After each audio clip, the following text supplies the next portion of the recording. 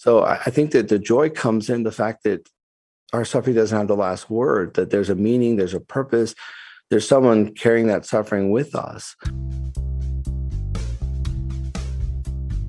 Father Jeffrey Kirby has written an excellent volume called Manual for Suffering, which can shine the light of faith on suffering and help us better understand it as a part of human nature.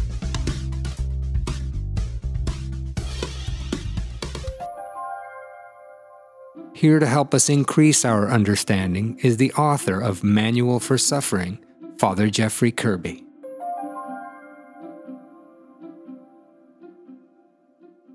It's comforting in a way to know that you can reach for that and read about that suffering and and be realigned in a sense to to that word because it you know understanding or reading about that suffering then pulls you back into a state of of groundedness if I, for lack of a better term but Yes. um yeah yeah very beautiful passages a lot to meditate on there like it, it- over the lenten period or the time of lent right now there's probably you know you could read one or two a day kind of thing as a as a Mhm.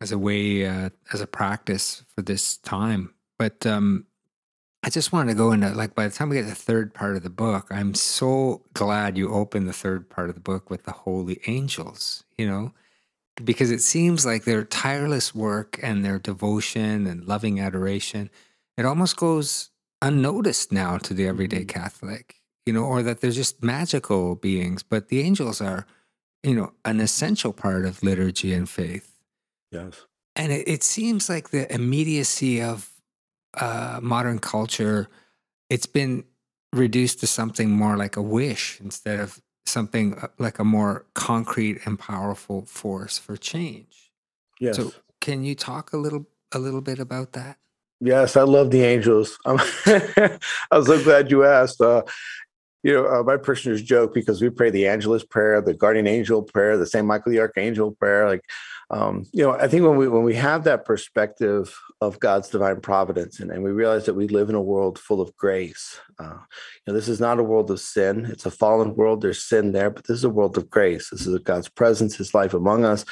And when we begin to allow ourselves to, to have our eyes open to that reality, then suddenly the presence of the angels just they're there. Like we we it'd be like ignoring someone present in a room, like to walk in and greet three people when there are really five, and the other two just get neglected. Like, you know, you have to greet the angels and and and both recognize their work and ask for their intercession. So uh, I, I very much I love the angels. I always encourage the faithful to, to turn to the angels in, in spiritual battle, to turn to the angels in times of, of grief or sorrow, turn to the angels.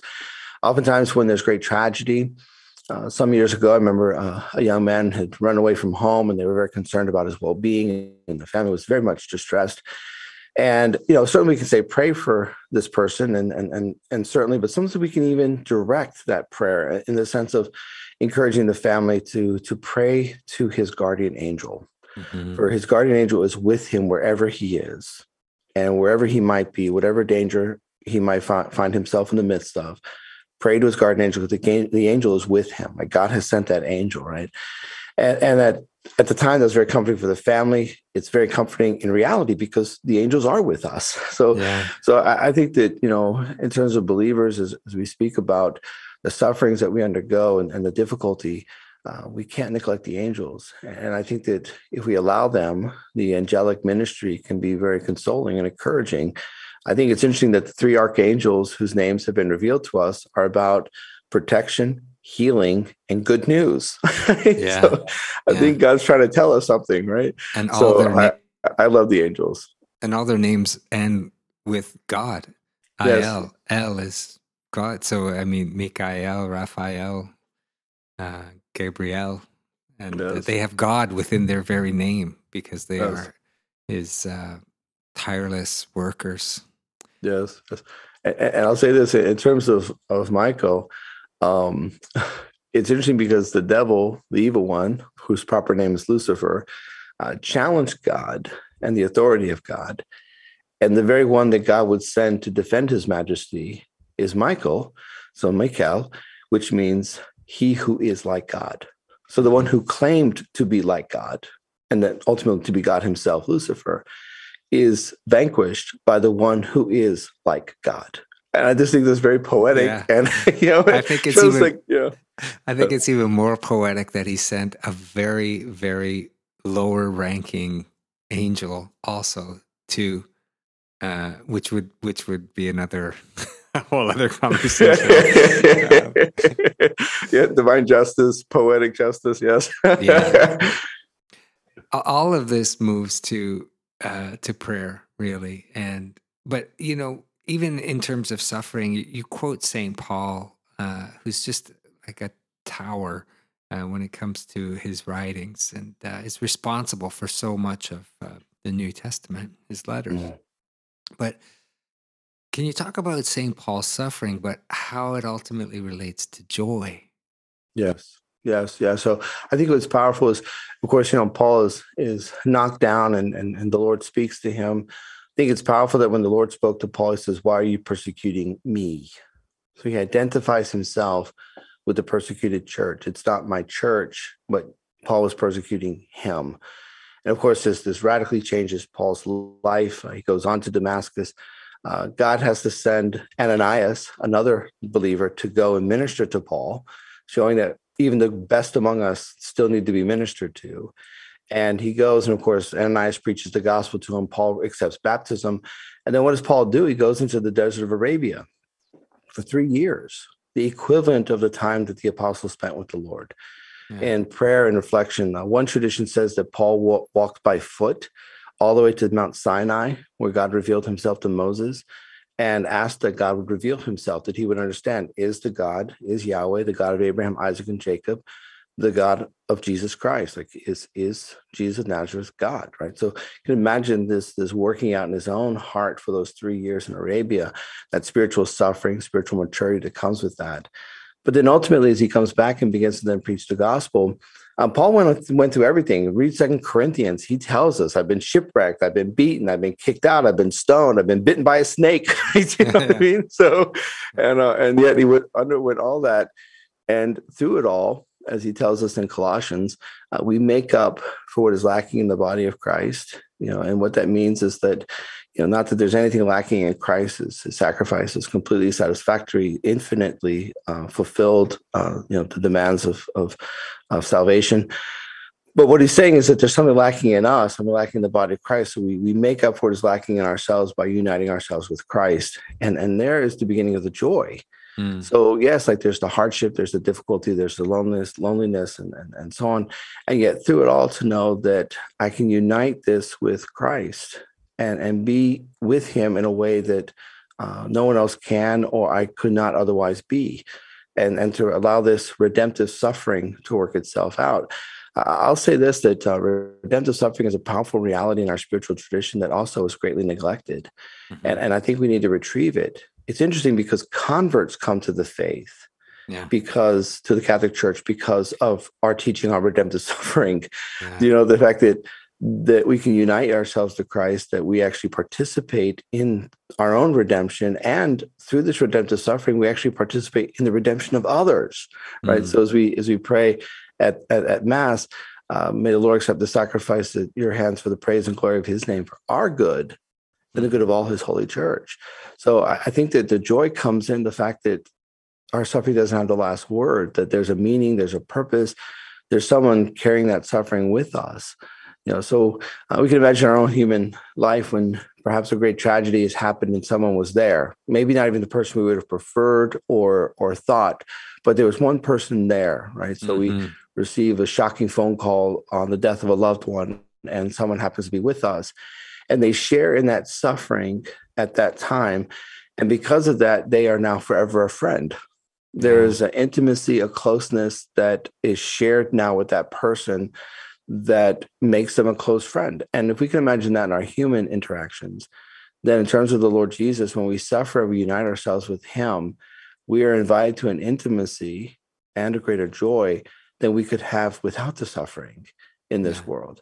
So I think the joy is born uh, by that sense of union and understanding of mission and to be united with Christ. And, and, and, and to clarify, when we speak of joy, we're not talking about happy clappy, you yeah. know, we're not talking about, you know, euphoria and so on. Like, you know, our tradition says uh, pleasure is in uh, the domain uh, of the passions. Uh, happiness is in the domain of virtue.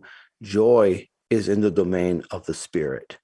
You know, is a gift of the Holy Spirit, almost synonymous with peace. So yeah. we might be, you know, not in the spirit of euphoria or, or jumping for joy and, and backflipping in terms of popular understandings, but a profound existential sense of joy to be united with someone, to know that there's a mission that's being shared, to have that joy, uh, again, that uh, complements peace.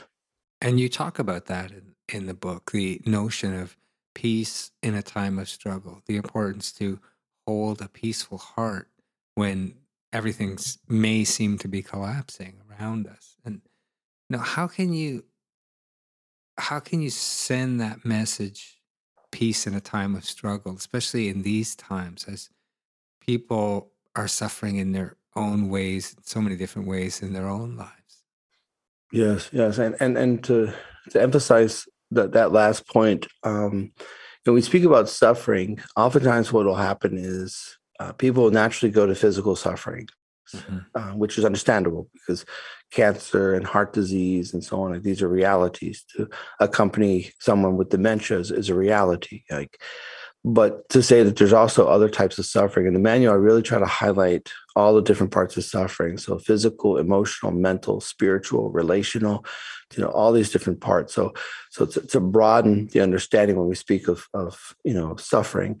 And in terms of how to share this message in the midst of a world that has become more and more secular, a world that is suffering, but a world that, that doesn't appear to be very interested in any contribution that divine wisdom might be able to pose. So the challenge is, is definitely uh, serious. It, it's uh, we can say in terms of worldly affairs, the odds are against us. Mm. I, I, think the best thing we can do is in trying to get a, a hearing is to be a, a witness. Mm-hmm. You know, to allow our sufferings uh, to reflect a different way. You know, so I, I saw this firsthand just recently. I was witness to myself and was on the highway and someone cut someone else off. And right. normally that would be some, you know, misunderstood sense of, you know, justifying road rage. But the motorist who was cut off simply backed up and allowed the car in and allowed them to continue to drive.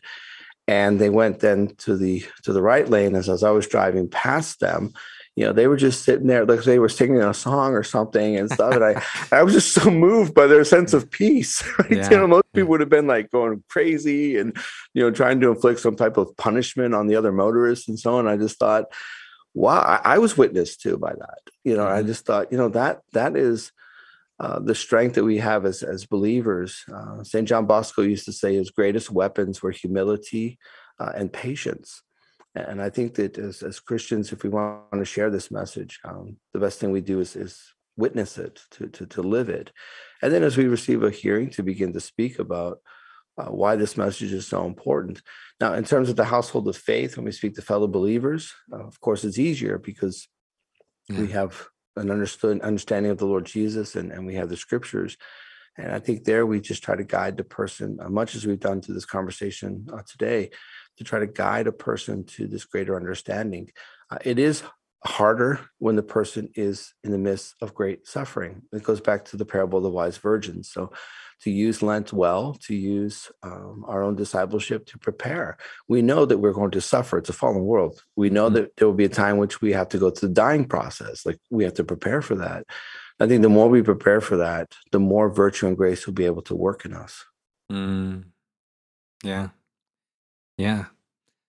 Yeah, you brought back. I've just. Oh, I'll just have one more question after this one. But you brought back this notion of um, offering up, um, and it's it's something people don't do anymore.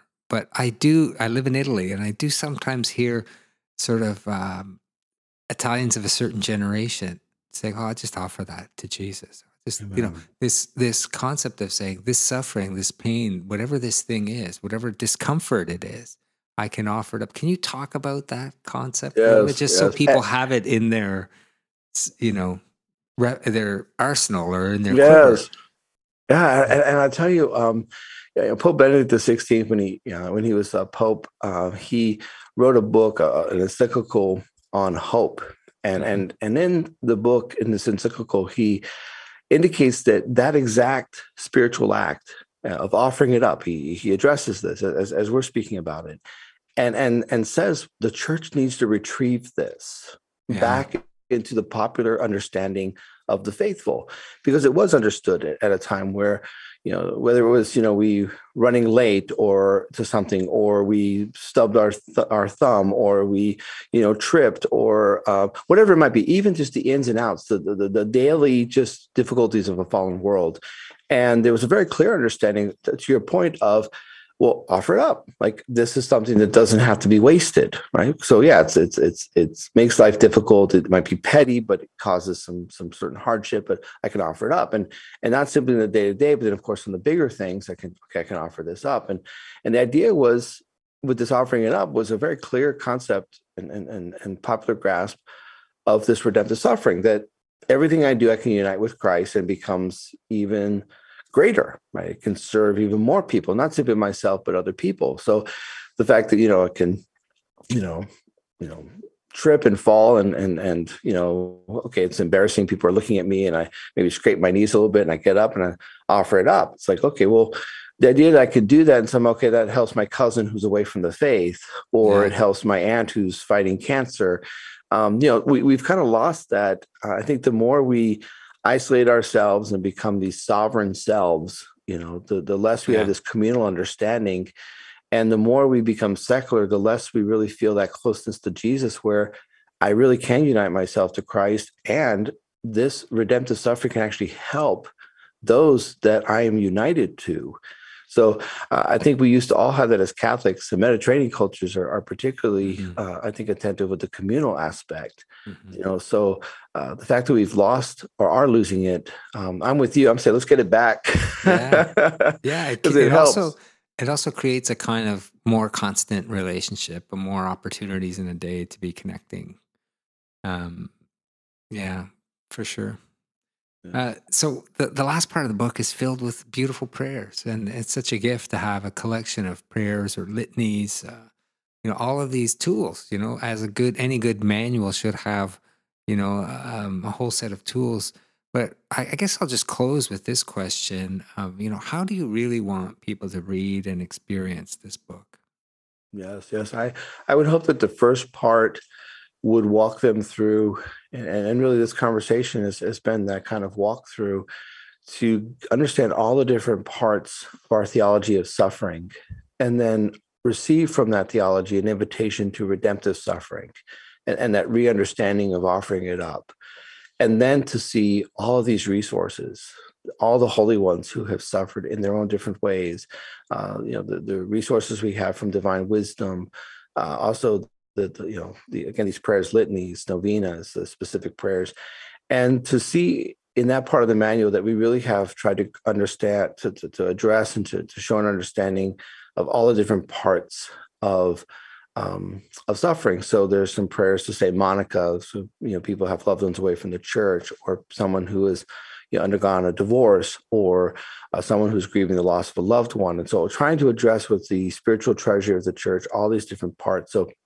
my hope is that someone would understand this theology of, of, of suffering better, see the invitation of redemptive suffering, and then immediately see the resources from the spiritual treasure of the church to help them. And, and I would encourage, uh, as, as, we said uh, so far in this interview, um, believers to use Lent well and, and parts of our discipleship because it is harder. It, it, it's just it's harder for ourselves. It's harder as we accompany loved ones to try to address these things while someone's in the midst of great suffering. So to prepare ourselves um, to use the seasons of the church well, um, our discipleship well. I hope this book helps with that. The book is Manual for Suffering, and I've been speaking with Father Jeffrey Kirby. Father Kirby, thank you for your time and for enlightening our audience today. My pleasure. God bless you.